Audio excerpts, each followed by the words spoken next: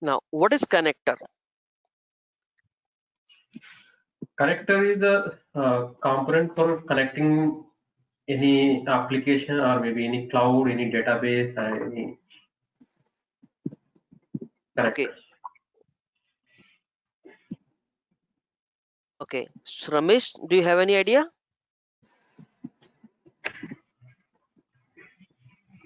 Yeah, this one just connector is only able to connect for any uh, through connectors we can connect with uh, JDBC data, uh, any applications. So connector is a mediator between IAQ and application.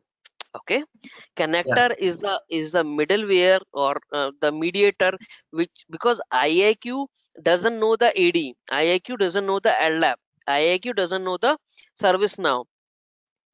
It is a connector which say which IAQ connect to the connectors, IAQ call the connector, and connector actually call the third party applications like adl LDAP, JDBC, and any any anyone. Clear? So what is connector? Connector is a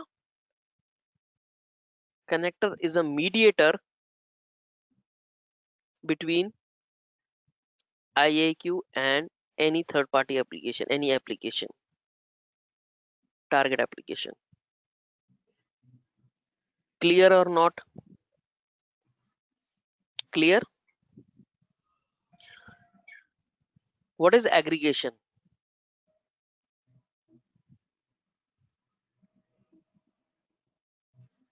Any idea?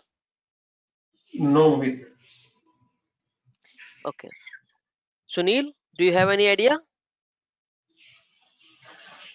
Uh, aggregation is like after creating any task or uh, like importing the data. Uh, It's not only importing the data, it's like um, fetching the data from target system. Okay, the if you are fetching the data from target system or target system means uh, the application target application that is called aggregation. There are two type two type of aggregation supported in iaq one is account aggregations another one is group aggregations.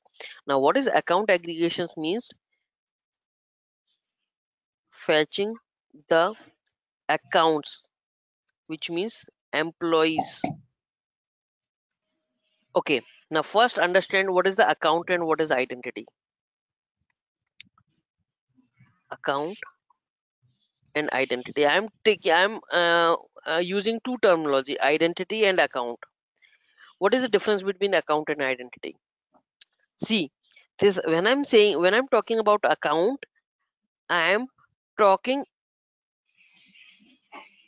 i'm taking reference of the applications which means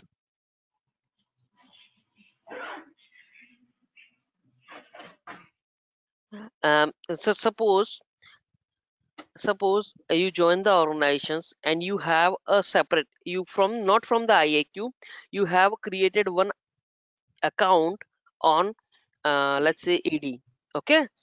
Now that you are actually identity identity is a terminology from iaq okay? Any user any user if he come into the iaq is called as identity. But any user who is from the target system which is ad ldap and all those things that is called accounts mm-hmm. okay? Clear? When the mm-hmm. ident when ia when user come into the iaq that is called identity. When user have an account on on different different target system that is called account. Clear? User is called identity and account but in different different format. User is an iaq called identity. User is an application called account. Clear got it. Uh, okay. Okay. now when i'm saying account aggregations means the fetching the employees data. So suppose uh, authoritative applications. We are talking about authoritative applications. So authoritative applications where hr will feed the data.